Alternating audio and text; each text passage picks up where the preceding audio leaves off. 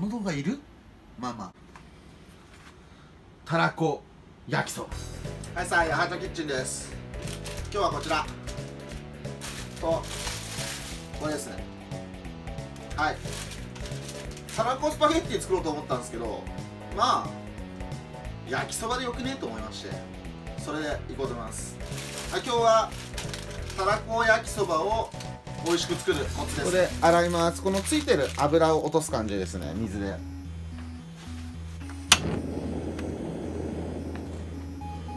バターです。バター結構多めですね。でこの麺を入れます。麺をにバターの風味をつける感じです。麺バターの風味つけます。はいその間に大葉切ります。ちょっとあんま映ってないですけどこれ。ヘタ取って。大葉正方形に切りますね僕は。ちっちゃめの。はい大葉こんな感じでちっちゃい正方形にします。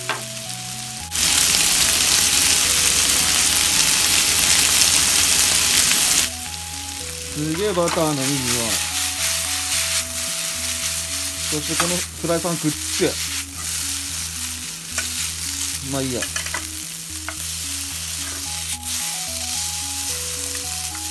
ちょっとね焦げ目というかこういうわかりますかね？バターの焦がしバター香らせる感じで。こうしたら料理酒をちょっと麺の上にかけます。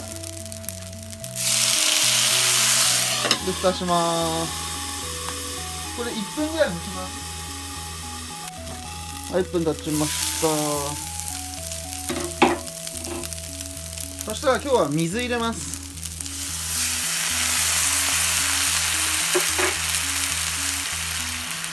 薄口醤油。水はね70ぐらいです。薄口醤油少々。顆粒だし。2つかみぐらいです。これね水多いっす。しくじりました。ちょっと続きます。帰ってきました。はいこれ。S&B のたらこ風味。一煮立ちしたら止めちゃってもう今バターの香りすごいっすよ。これ一袋入れちゃいます。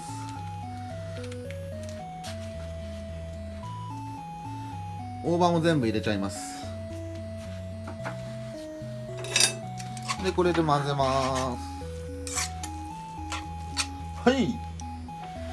完成！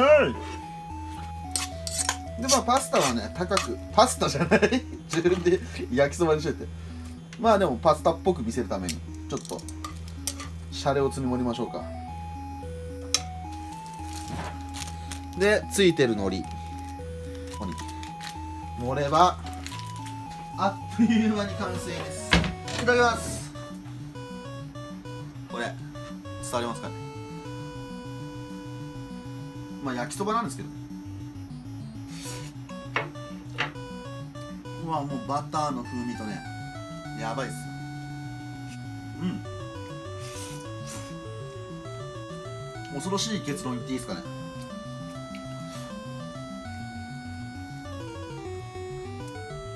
パスタの方がうまいっす。全然これうまいんですけどちょっとパスタの方がいいっすねこれ。いやでもほんと美味しいんだよ。このまんまねちょっとたらこスパゲッティ食べてみたいな方スパゲッティ たらこ焼きそば食べてみたいな方はやってほしいんですけど。もうバトバターの香りのねもう滝ですよ。この動画いる？まあまあ作りましょう。たらこパスタの時はちゃんとたらこソース作るとこからやります。ちゃんとっつってもあのはい。あの白ワイン飛ばしてバターと混ぜるっていうねそのそこからやりますし。パスタ苦手な方まあいると思うんですけどこれはこれでうん。ちょっとやっぱね麺が柔らかいんだよな。うん。あ美味しかったです。はいございました。すげえさっくりした動画になると思いますが。またアーチョキッチンよろしくお願いします。バイバイ。